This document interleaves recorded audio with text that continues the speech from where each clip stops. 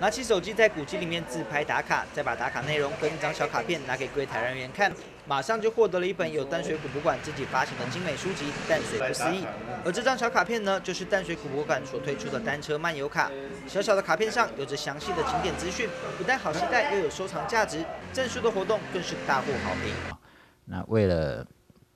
让游客啊能够得到更多的旅游的资讯，哎，并并且收藏各景点的一些。基本的资料，所以我们就印制了单车漫游卡的这个小卡片啊，这里面有四十二处的商家跟我们的景点。而为了推广单车漫游卡，古博馆更是选定了三个景点举办证书的活动。只要在护水一方、艺文空间、淡水艺术工坊、德基历史洋行三个景点打卡，并同时出示单车漫游小卡，就可以获得一本书籍。这样的活动也让游客直呼真的是太好康了。所以我们也在我们淡水古迹博物馆手下的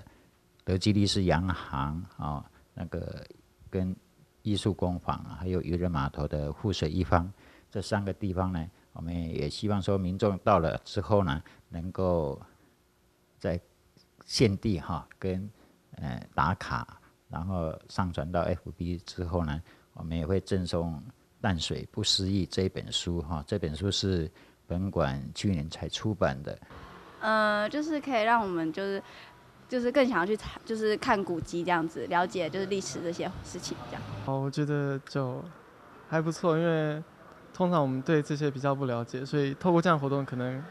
能更有兴趣去发掘这些东西。古博馆表示，以往的宣导文宣都是 DM 的形式，但现在来淡水游玩的旅客很多都是单车族，为了让单车族方便携带，才会想到推出名片大小的单车导览卡，每一张上面都介绍着一个景点。除了淡水古博馆的古迹之外，淡水的街角博物馆、特色商店，通通都有，可说是相当方便。记者陈博伟淡水采访报道。